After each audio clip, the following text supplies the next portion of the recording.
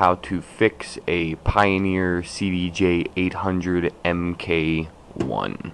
All you're really going to need is medium to large sized screwdriver and something to lay your CDJ on, a towel, or I have a couple pillowcases I'm going to use. Lay your towel or pillowcases, whatever, something soft down because you're going to have to flip it upside down. The first thing you're going to do is there is a screw all the way in the back. You're going to take this screw out right here. Then you're going to turn the whole entire CDJ upside down. Then you're going to have a screw right here, here, here, and here that you're going to have to take off and also one way up in the front right here. So there's five screws.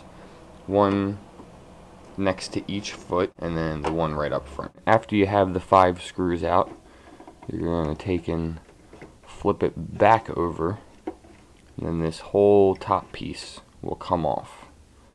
But you do have to watch, there is a ribbon that is attached right here so be careful of this ribbon when taking it off. You're going to take it up and you're going to flip it backwards so you don't mess that ribbon up. The ribbon is also attached right here to a little hook. You can very gently pull it around that hook so you have more play on it. See, we now have a lot more play. There it is, upside down, out of its case other piece sitting right here you can see the ribbon still attached don't don't worry about disconnecting that and now you're going to remove this piece right here. There are six screws. We now have all six of the screws out. Now it is loose. Also again watch when flipping this. You got this ribbon to worry about now. So you're going to pull it out from underneath the circuit board and there she bees. If you look on the outside edge there are one, two, and three little clips. So you're want to pop one of them out, pop the second one out, and you see that comes right off. You then pull that part off. This is the first repair that needs to happen often. There's these little wheels right here on the edge that the platter actually sits on and that's what it rolls on is these little tiny wheels and all it is is little tiny axles with little rubber wheels on them you can see I have one missing right here on this one. It makes no difference with that one right there missing. You then have another layer of them down here all the way around the black edge which is for this to run along. If you're getting a sound that sounds like crunch, crunch, crunch, crunch, crunch when you turn it, it's because one of these things, the axle has broken and it's stuck in there somewhere. Sometimes you'll get lucky and it'll fall down in the groove. Now, the second repair is for some people have problems more with the 1000s. If you're putting your hand on the outside, it starts scratching or you'll get a little bit of a glitch and it just doesn't seem like your CDJs are as tight as they used to be when you first got them. Here is how you fix that.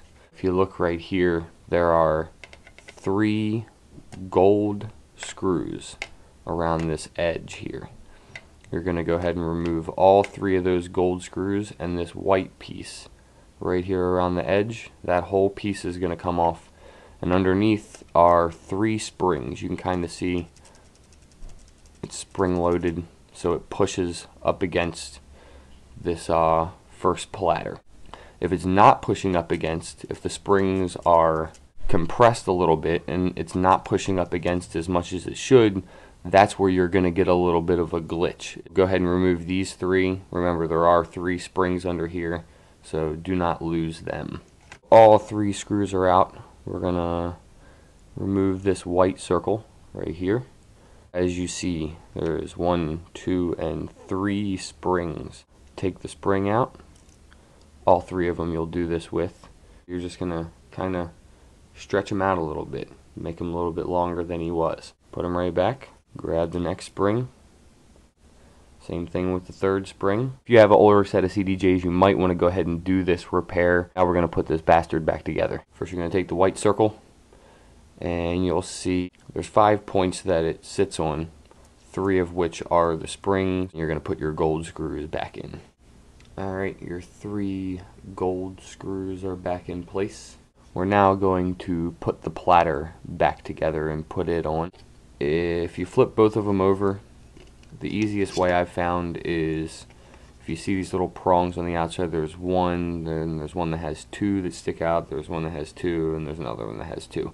If you find the single one, and you find the smallest opening on the inside, which is here, you put that single one right there, and should fall right in place. Now you're going to turn it over, kind of keep your fingers up under this so it stays in. And you're going to put it down on top underneath of one clip first. Still holding the platter a little bit underneath of the second clip. And then be gentle with it and clip down the third. Make sure it spins. You're good to go. Now we're going to flip it back over. Again watching this ribbon. And slide it underneath the circuit board. Real easy like. And then you're gonna screw this back in. I find it easier to screw the top one in first so it kind of keeps it all in place and then get the bottom two then the sides so we got our six screws back in this black piece everything's all back together now this is this is probably honestly the hardest part is when you're flipping this back over, getting this ribbon to sit underneath of this clip again. What you're going to do is you're going to pull this piece up and you're going to go and attach the ribbon again. It's now back there and it's a lot tighter. And then you're simply just going to flip it back over. Set her down nice and gently. Should fit on there nice and snug.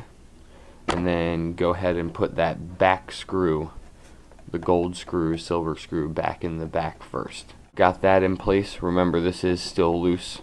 So flipping it over. Go ahead and flip it back towards the screw because you know that one's good. Just hold on to the front and then start out go ahead and put your front screw in right here then go ahead and get the four screws down next to each of the feet, right down in there. And then flip her back over. That's it. Let's go test her out. No clunking. No clunking no more if you had that problem. And we'll go see how tight she is now. She is now hooked back up, ready to go and show off for you a little bit.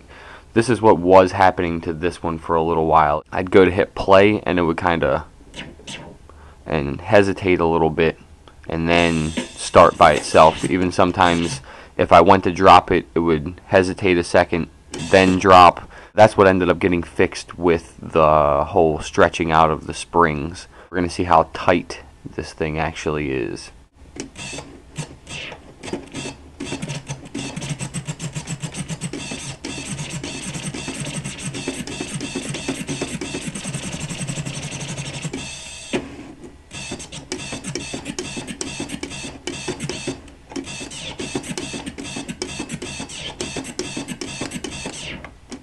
Gonna have to say that's pretty damn tight. Let's test her out in the mix.